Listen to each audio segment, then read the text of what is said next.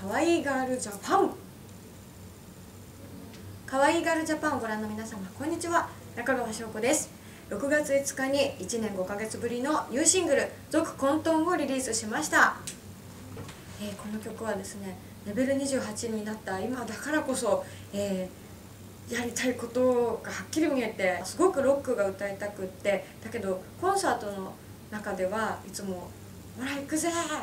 おめえらかかってこいや!」みたいな感じでド S に変身することがあるんですけれどもなかなかシングルでやれてなかったそして普段お仕事してる中で歌手活動の中川翔子を知らない方にとってはなんかロックのイメージって全然ないだろうなと思った時にやっぱりすごく思い切った感じでやりたかったので黒髪でロングでそしてもうなんだろうな今までだったらちょっと照れちゃってできなかったかもしれないんですけれどもレベル28大人の色気を出したいということで出なかったかもしれないんですけどもあの素肌に黒いリボンだけを巻いて、えー、黒リボンミイラになってという。ミュージックビデオの中ではローリーさんが一緒にギターを弾いてくださったり歌詞の中に出てくるいわゆる獣の私たちカオスですかされと幸せを追い続けませんか。その闇の世界をローリーさんがもう激しく、えー、表してくれてもう顔芸の領域になってると思うんですけどそこにいらっしゃるだけでああローリーさんの世界だ。その自分の強さというのがかっこいいなと。なんか歌詞の世界もですね続混沌は一人ぼっちでもかっこつけてもかっこ悪くても何だって楽しければいいんだぜというかなりベランメンなロックで。昔だったら私もああ短足だとかああぼっち一人ぼっちでいるって思われたくない恥ずかしいとか悩んでばかりだったのが大人になってきてだんだんそれでも別に楽しいからいいじゃんっていうふうにネガティブを食べて成長するモンスターになってきたというか。から10年前の自分にプレゼントしたい曲になりましたね。そのミュージックビデオでは黒リボンをだんだんミイラからほどいていくシーンとかがあったんですけれども男子金星で壁を作って女子だけでやったんですけれども、まあ、あんまりポーズが決まったポーズから動けなかったので体中痛くなりましたけどでもあのだんだんこうほどいていくずっとそのトゥットゥルーっていう感じのセクシーなシーンが見どころですね。そして黒い翼が生えたりするのはかなり、えー、まるで「ファイナルファンタジー7」のセフィロス様みたいな中二感が満載で、えー、今までにないブラックな中川翔子を出せたんじゃないかなと思います。カップリング曲もかなりヘビーなギザメタル、えー、かなり過激な、えー、激しい伴奏とともにですね「ラズベリークリプス」っていうタイトルなんですけど「紅濃い、えー、毒蝕む」というすごい漢字を並べて読むっていうのがとてもそういうのがとてもワクワク楽しくて歌詞の中もそんな感じなんで、えー、それにちなんでちょっと好きな言葉を漢字にしてみました。私の人生を支えてくれてるのはやっぱり10匹の猫たちそして愛する、えー、マミタス様なのでもともとは「魔法の天使クリーミーマミ」というアニメにちなんでマミタス様と名付けたんですけれど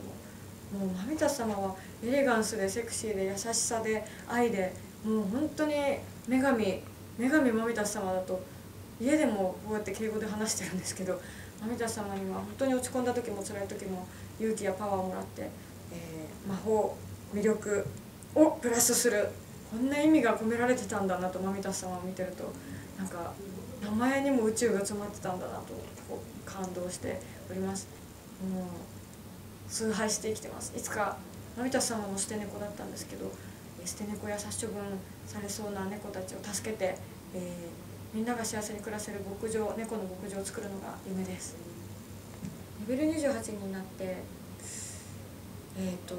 賢さが上がった色気が上がった上がったってことにさせてください、えー、素早さが下がった。ヒットポイントが下がった。貪欲が上がった。こんな感じかなと思うんですけども。あのまあ近年コンサートツアーを毎年やらせていただいてる中でもう今回もすごい体力の衰えを感じたというか若さでなんとかなってたものが結構ニンニク注射に頼ってしまったのでちょっと今後体力つけなきゃいけないなっていうのは思いました。でも気持ち的にはとっても楽になったというか今まではこうめくるめくる日々の中あ次これするんだ。あどうしよう。ああじゃじゃじゃって焦ったまま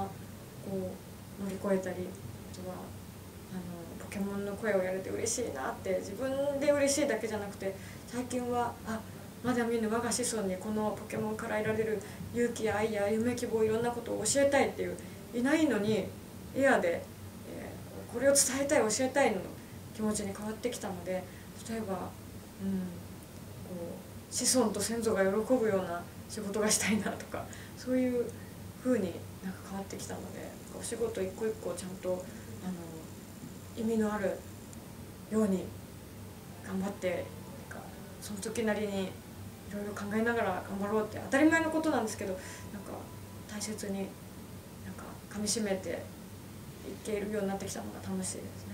デビュー10周年の時はアジアツアーなどなどたくさんの、えー、経験値を、えー、これを絶対に無駄にしないぞと胸に決めて、えー、今年デビュー11周年目はいろんな今までの人生のカオスがこう花になって咲いてきたというかすごく毎日が楽しくって、え、歌手活動を頑張りたいなと、え、歌があったからここまで続けてこられたのでまた10年先20年先いつか立派なシャンソン歌手にもなれるように、えー、歌活動頑張ります。なので秋からもコンサートツアーが決まりました、えー、そして、えー、大好きな中野ブロードウェイでマミタスというお店がオープンできたりとかこう本当にやりがいのある日々が続いていますので皆さんに、えー、いろんな形で中川翔子の生きた証を届けられるように頑張ります、えー、これからもよろしくお願いします。以上中川翔子でした。バイバイ。かわいいガールジャパン。